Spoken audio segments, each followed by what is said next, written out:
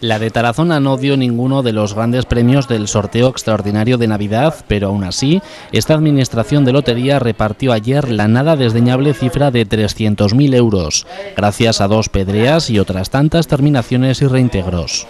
Pues hemos hecho un cálculo aproximadamente y pienso yo que va a estar en los 300.000 euros los premios que hemos llegado a repartir entre premios de terminaciones, reintegros y pedreas. Porque, como ayer comentaba, había que esperar a que nos dieran el listado del sorteo de Navidad y ya poder ver si había habido alguna pedrea. Eh, hasta ahora hemos podido comprobar de que hay dos, la Peña Dominguera y el Hogardoz, que tenía reintegro y además al salir la pedra, pues cada décimo le corresponde un premio de 120 euros.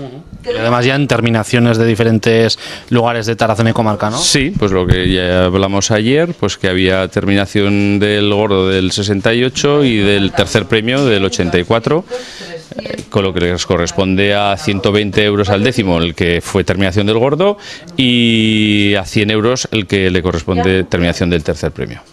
El año pasado la cantidad, ya una vez pasado el tiempo que hay para, para poder cobrar, la cantidad de dinero que repartió al final la, administración fue bastante importante, ¿no? Sí, porque rondamos los 480.000 euros, lo que se pagó en, en, total. En las tres semanas que van posteriores al sorteo hasta llegar al niño, se llegó a esa cantidad, que no es poca cosa. Lo que pasa es que, claro, siempre nos quedamos con ese resquemor de decir, bueno, eh, no ha habido un premio mayor, que es lo que te da el ruido y que quede trascendencia en, en, la calle, ¿no?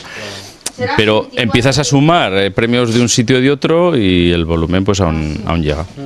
Hoy se veía en las primeras filas en la administración de lotería.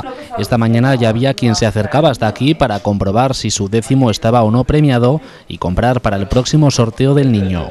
Pues oye, desde el punto de la mañana, yo cuando he venido ya tenía cola esperando en la calle y bueno, así ha sido, ha sido una mañana en la que no se ha parado, pero sin haber una cola continua.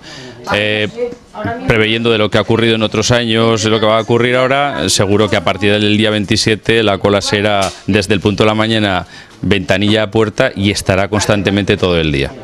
Es día, por tanto, de cobrar y también de volver a apostar, ¿no? Porque la, el próximo sorteo del niño está cada vez más cerca. Sí, pues es, eh, ahora mismo la gente, pues, unas personas pues o deciden coger todo el dinero, otros mmm, cogerlo eh, a cambio de décimos para el propio sorteo del niño, o bien combinar. Oye, pues cogen un poco de dinero y dicen, bueno, así nos queda todavía la opción de si en el niño podemos tener algo más de fortuna que en Navidad. Habrá que esperar al próximo 6 de enero para ver si la suerte sonríe de una vez por todas a Tarazona.